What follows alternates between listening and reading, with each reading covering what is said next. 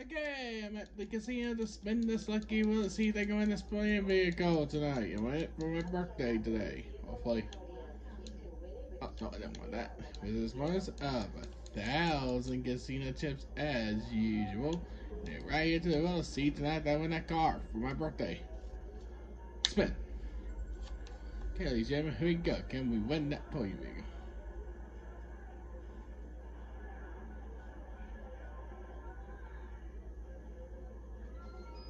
I said a vehicle. And it gave me freaking stupid money. Wow, happy birthday to me. I get money. Now, Dang it. I wanted to cut. Ah, forget.